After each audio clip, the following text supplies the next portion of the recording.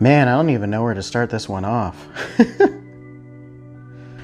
I am brand new to astrophotography and I've actually been in it since August of 2020. So at this recording time, it's been about four months uh, since I started. I'm not new to YouTube. I've been on YouTube for a few years and I have a small RC channel and I go by the handle Bad Notna. I'm a FPV freestyle drone pilot, and in case you don't know what that is, basically we fly racing drones and in a very expressive way, fast and uh, also very far.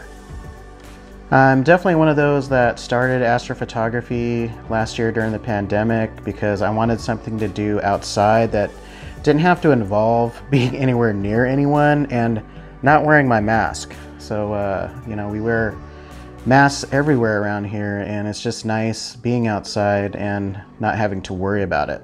I think my story is pretty much the same as everyone else's. I started off with a DSLR and a camera lens on a tripod. Um, and I did try astrophotography like 10 years ago, but I didn't really have the support and I didn't really have the right equipment. My first successful deep space photo was Andromeda, and it wasn't very good, but I'd never taken a picture of something like that before, and when I saw it on the screen for the first time, I was like, dude, I have to do this. I actually didn't take my first successful narrowband, like full narrowband, until maybe two months later and it was like the Tadpole Nebula. And I still need to put more time into it, but I was just, I remember being super excited seeing the tadpoles. And I was like, oh my God, they're, they're actually there, right? And I don't know, you just get so excited when you're, you know, shooting brand new targets for the first time and just discovering new things.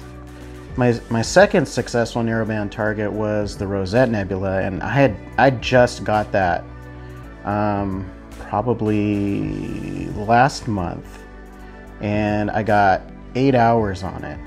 And it was through like some horrible conditions, but I didn't care. I just I just wanted to capture the data and just put it all together and just see what I would get. And um, I think as of right now, that's probably my most epic photo that I've taken. I've also been a serious photographer since 2006. So I kind of have the background as far as channel mapping and Photoshop. Um, so processing really didn't intimidate me. It was more or less trying to learn like things like, you know, what's the right refractor to buy? You know, um, what do I need if I need to track stars in, you know, 2020? Uh, how do I guide?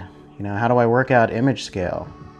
I had to learn a lot of things before I just started taking deep space photos. And if it wasn't for YouTube channels like Nebula Photos, Astro Backyard, Helena's Astrophotography, uh, Astro Biscuit, or uh, is it is it Astro Biscuit?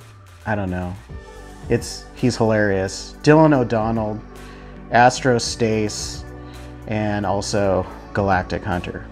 I would be completely lost. And uh, they made all these things easy for me to understand and watching them for months on end, knowing what equipment that, you know, I really should be getting uh, depending on my budget. I made this channel because I want to document my progression through astrophotography and I think it might be a cool forum to ask advice.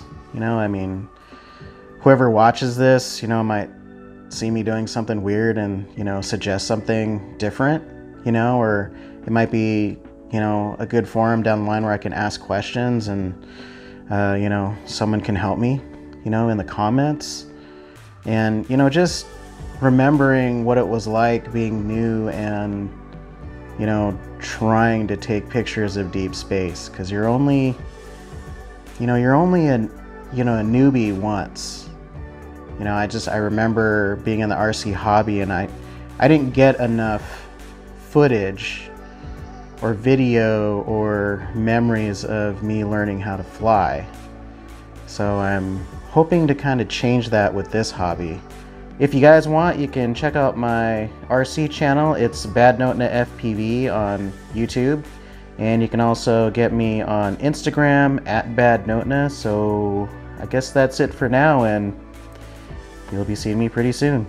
Peace.